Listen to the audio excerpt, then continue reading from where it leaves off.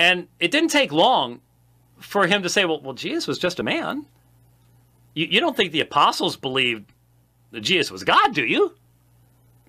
Yes, actually, I do. Yeah, I've defended that many times. And their writings are really unequivocal on that subject.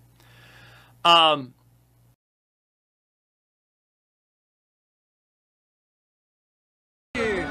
I submit to you evidence of Peter, Acts 2.22. You that are Israelites, listen to what I have to say, talking to you. Jesus of Nazareth, a man, a man attested to you by God with, de with deeds of power, wonders and signs that God did through him among you as you yourselves know. This man. Now hallelujah.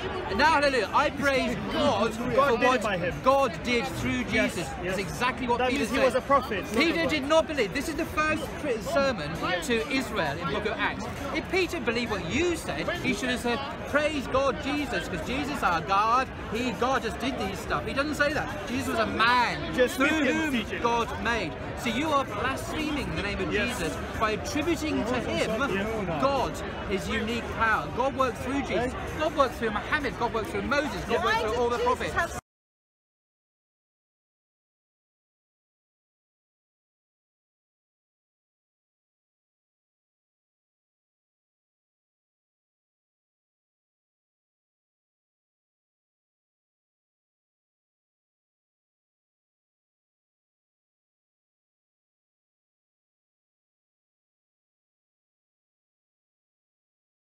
In Acts 2:22, here is Peter speaking to an audience of Jews, to an audience of Jews, and many of them were antagonistic. And notice what Peter said. Men of Israel, listen to these words. Jesus the Nazarene, a man, now get this, a man attested to you by God. Do you see? Up until then it was attested to us, to us, we saw, we heard. Now He's thrown it back on their lap and said, attested to you and to you and to you by God with miracles, wonders, and signs, which could be confirmed by the five senses. Now, notice what he says which God performed through him in your midst, just as you yourselves know. The, the passage is quite clear in Acts that Jesus was a man through whom God worked.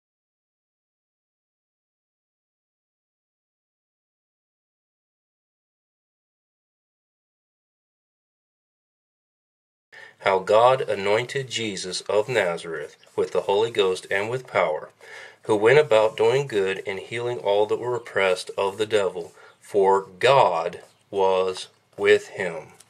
Now you look at verse 38 here. I want you to think about a Trinity. I want you to think about a deity of Christ. And I want you to see quite clearly that Peter didn't believe in either one of those doctrines. Peter's very clear. God anointed Jesus of Nazareth with the Holy Ghost and with power, who went about doing good and healing all that were oppressed of the devil, for God was with him. Not for he was God. That's not what it says. It says, for God was with him.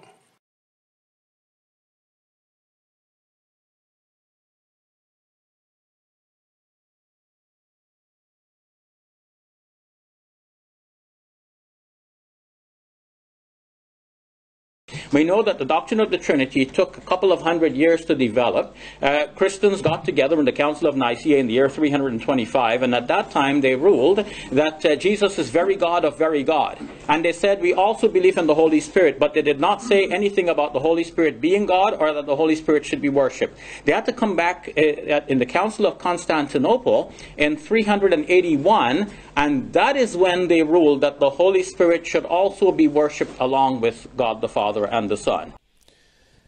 there's always a certain um, silence about or reticence about the spirit um, until the fourth century. No one quite knows where the Holy Spirit fits in. Obviously, on the one hand, there are these. There is a baptismal formula, and there is this blessing at the end of Paul's second letter to the Corinthians, which names the Spirit along with the other two. But there isn't the kind of evidence in the New Testament itself for the distinct personality of the Spirit that you find in the case of the Father and the Son, and there isn't the same evidence of the Spirit being called God. So it took more time for the Spirit to attain that divine rank in the eyes of Christians uh, than it did for the Son to attain that rank. And in fact, even now, in what we call the Nicene Creed, not the Nicene Creed of 325, but the one that was amplified and proclaimed at the Council of Constantinople in 381, that's the one that we now recite in churches, and it doesn't actually say that the Spirit is God. It says that the Spirit is the Lord and the giver of life, and that he's worshipped with the Father and the Son. But it seems that the Church never actually produced a creedal formula which definitely said that the Spirit was God like the other two. So that shows a development in the doctrine. If you go back even earlier to the Apostles' Creed, which is from the second century, it doesn't even say the Son is to be worshipped. So now we have three creeds the Apostles' Creed, second century, uh, Council of Nicaea, early fourth century, uh, Council of Constantinople, late uh, fourth century. So if you see the development, only one God here. Apostles' Creed, second century. Only the Father is God. Second uh, uh, of these we have in the Council of Nicaea, for early 4th century. Now the Son is also God. Now we have two. Uh, later in that century, Constantinople, now the Holy Spirit is also God, now we have three. So it goes from one to two to three. It goes from Unitarian to Binitarian to Trinitarian. And uh, still, I say Trinitarian with some qualification because the idea that the, how these three can still be one, that this took more time to be worked out. That does not mean that some of the earlier church fathers did not have some inkling of this. Yes, there is development. I've already seen, I've shown that this development started even with the Gospel according to John, and even before the Gospel according to